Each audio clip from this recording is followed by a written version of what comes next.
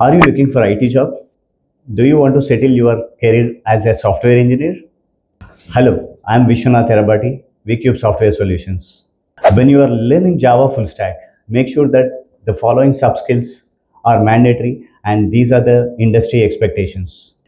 When you are learning core Java, make sure that along with core Java programs, you must thorough with the algorithms and flowcharts. And when it comes to database, yes, either you should learn Oracle or MySQL. And when it comes to front end, along with HTML, CSS and Bootstrap, JavaScript knowledge, either React and Angular is the best option for you. And to advanced Java concepts, must get the knowledge on JDBC, servlets, JSP and MVC architecture. Frameworks, collections, Spring MVC, Spring Boot are the industry expectations.